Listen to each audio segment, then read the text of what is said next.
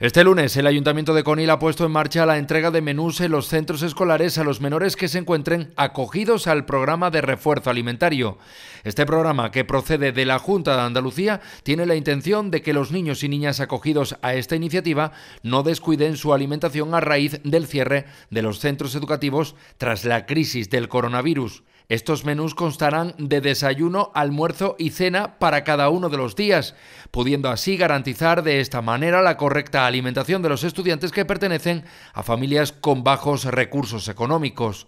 En total son unos 30 alumnos y alumnas de CONIL los que se encuentran adscritos a este programa que realizará el reparto de menús en dos centros de la localidad el Colegio Fernández Pozar los lunes y miércoles de 10 a 12 y el Colegio El Colorado los lunes de 10 a 12. Para que todas las familias puedan recoger los alimentos físicamente, recibirán un certificado de movilidad, mientras que para quien no pueda asistir a recogerla, deben ponerse en contacto con la Delegación de Servicios Sociales y Protección Civil realizará el reparto a domicilio.